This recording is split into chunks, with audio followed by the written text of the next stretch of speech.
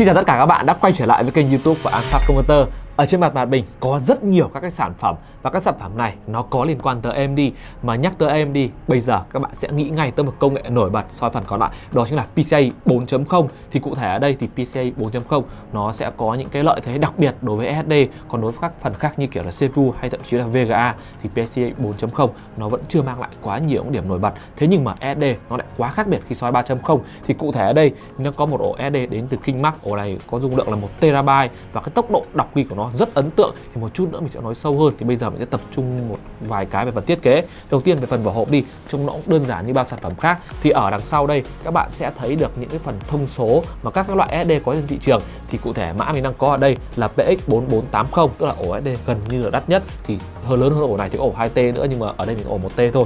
Nói chung là đã gần như đắt nhất rồi bởi vì mức giá của nó đã rơi khoảng độ 7 triệu đồng. Thì với 7 triệu đồng bỏ ra thì các bạn sẽ nhận được một vài công nghệ nổi bật. Một chút nữa đi thì bây giờ chúng ta sẽ nói về cái phần uh, thiết kế. Đây nó trông giống như bao cái ổ SD kinh mắc khác thông thường. Thì các bạn có thể nhìn thấy một thời gian đầu các SD PCI 4.0 nó ra mắt thì nó đều có hệ thống heatsink tản nhiệt theo kèm. Thế nhưng đối với sản phẩm SD kinh mắc này thứ nhất là nó không cần thiết bởi vì cái mức nhiệt mà hãng đề xuất ra là từ 0 đến 70 độ C. Thì mức nhiệt độ của SD này nó rơi khoảng độ 55 độ C. Thì với mức nhiệt 55 độ C ấy, nó không phải mức nhiệt quá cao so với ổ SD NVMe và cái thứ hai nữa mà để lắp được ổ SD này và tận dụng được sức mạnh của nó hiện tại chúng ta bắt buộc phải dùng các mẫu bòi trụ X570 và các mẫu bòi trụ X570 ấy nó đều có sẵn những cái heatsink trên cái phần uh, đây ví dụ bỏ chủ mình là co ở đây nó có sẵn phần heatsink có phần SD rồi. Thế nên việc trang bị thêm heatsink nữa nó không mang lại vấn đề gì cả nó hơi thừa thãi. Thế nên kính mắc không trang bị mình thấy đó là mình điều chính xác.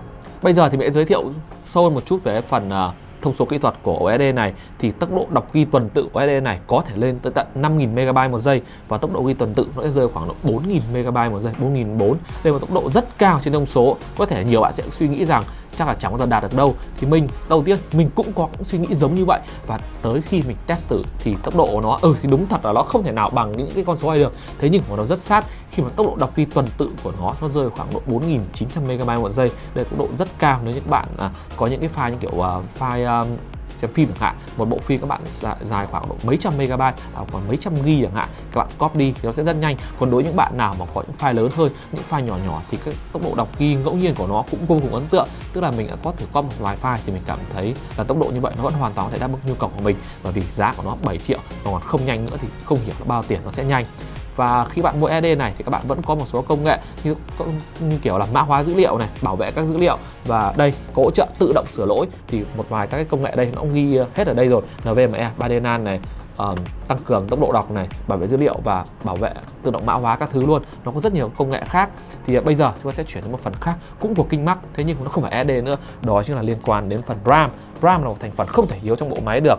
Các bạn cứ tưởng tượng như này CPU các bạn nó chính là bộ não. Và để bộ não các bạn ra lệnh được cho VGA nó sẽ phải thông qua RAM. Màu thanh RAM bus không đủ cao và hoạt động không chính xác nó có thể ảnh hưởng đến hiệu năng của toàn bộ các bộ máy. Thì mình cũng đã có làm về nội dung này rồi. Thì ở đây mình có RAM. King Maxus về phần thiết kế rất đẹp. Và cái thứ hai nữa đó chính là về, về hệ thống tản nhiệt phần led RGB mình không cần phải nói rồi. Nó quá đẹp nó hỗ trợ uh, Aura Sync này hỗ trợ cả bên AdRock và MSI và Gigabyte. Nói chung là hầu như tất cả các loại bên trên thị trường và cả đồ họa nó đều hỗ trợ hết. Và nó đều có hai phần hai bên ốp hai bên và là hai miếng ờ, kim loại. Thì hai miếng kim loại này nó sẽ giúp RAM hoạt động trong uh, môi trường. Nếu như vỏ cây các bạn nó hơi bí một tí thì cũng không phải lo lắng kiểu RAM sẽ ảnh hưởng uh, về cái tốc độ hay là cũng như à, độ bền của sản phẩm. Tiếp theo nữa về vấn đề burst RAM thì đối với cái sản phẩm này nó sẽ hỗ trợ XMP thực tế ra nếu mình nói chính xác ra thì XMP là Extreme Memory Profile nó không phải của AMD thì đối với AMD nó có tính năng tương tự nhưng mà mỗi hãng nó sẽ gọi một, một cái tên khác nhau. Ví dụ như bên Asus đây nó có tính năng cái tên này DOCP mình nhớ không nhầm thì là vậy. Thì với cái tính năng đấy các bạn có thể đẩy bớt RAM lên cao thì mình đã có thử đẩy cái bớt RAM này lên à, mức ờ, uh, 3006 thì mình thấy là khi chơi game ấy cả đội bảo mình luôn luôn full load nếu như các bạn hạ cái bớt RAM xuống hoặc các bạn đang sử dụng những thanh RAM bớt chỉ có 2133 thôi thì các bạn nhìn mình đảm bảo các bạn luôn. Cả đội các bạn rất hiếm khi có thể full load được.